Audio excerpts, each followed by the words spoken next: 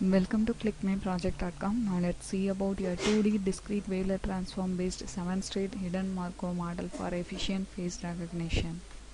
Now let's see about this abstract. In this paper it provides the unique recognition of face by the use of HMM. HMM stands for hidden Markov model. It is a finite set of states each of which is associated with a probability distribution. Transitions among the states are governed by a set of probabilities called a transition probabilities.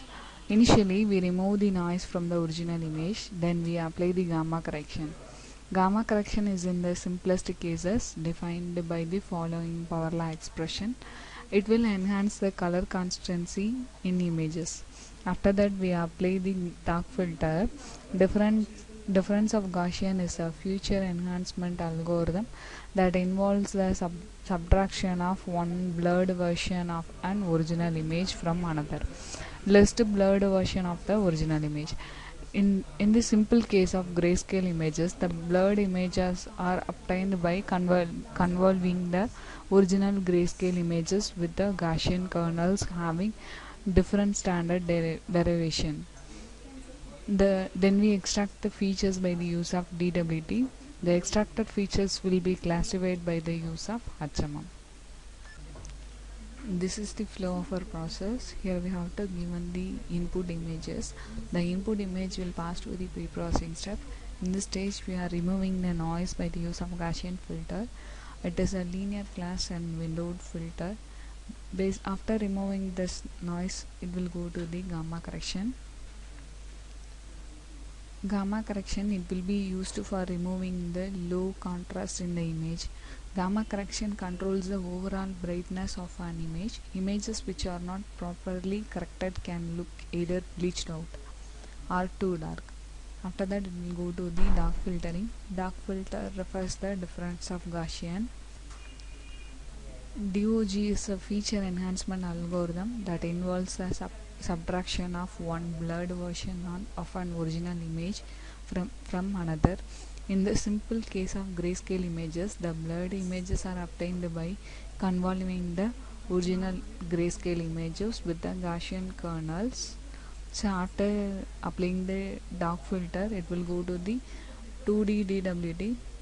Here, wavelet transform the one uh, spatial domain to frequency domain here we are getting the different subbands such as approximation horizontal vertical and diagonal informations are identified.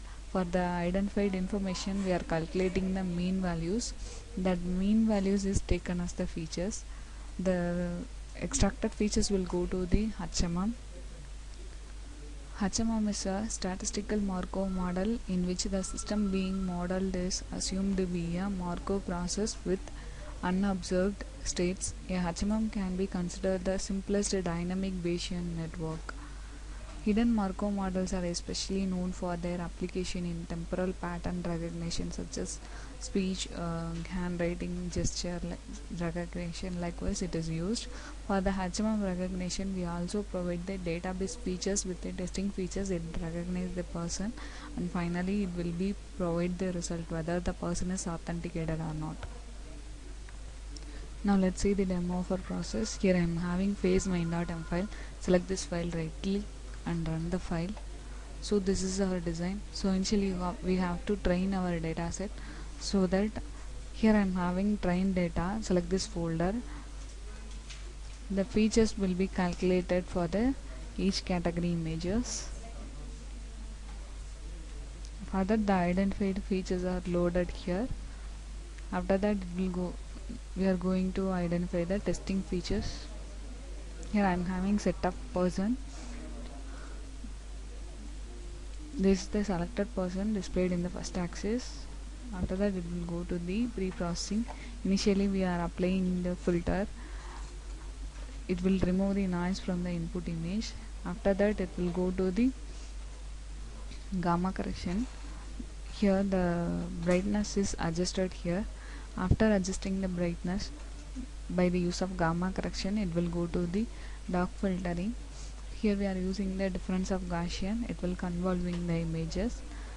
After convolving this we are going to the feature extraction. For extracting feature here we are using the DWT this is the DWT result. This is the approximation and horizontal vertical diagonal informations are calculated for the for this values we are identifying the mean values that that is taken as the features. These are the features. This feature values will go to the HMM recognition. It will identify the persons.